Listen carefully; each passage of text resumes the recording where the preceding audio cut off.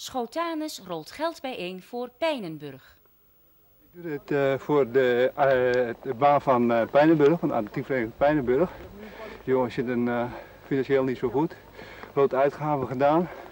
En ik doe het onder andere ook om mijn sport, de rolskisport, min of meer te integreren in de atletiek. Dat probeer ik.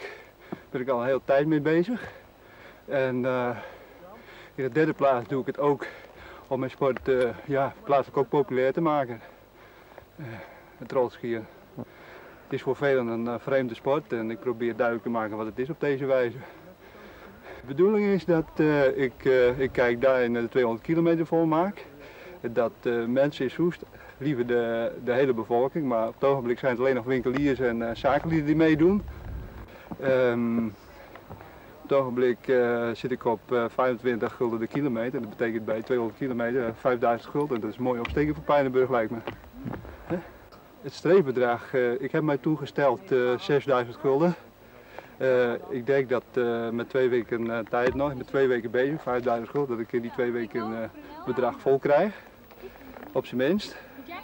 Alles wat er over één binnenkomt, daarover binnenkomt, dat is meegenomen. Ja.